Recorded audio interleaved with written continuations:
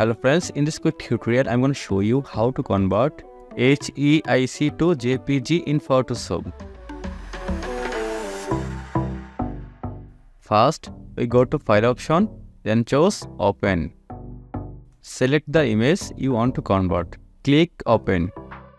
Here we see open your image in Photoshop. Again, we go to file, then choose save as. Save type, we chose JPEG.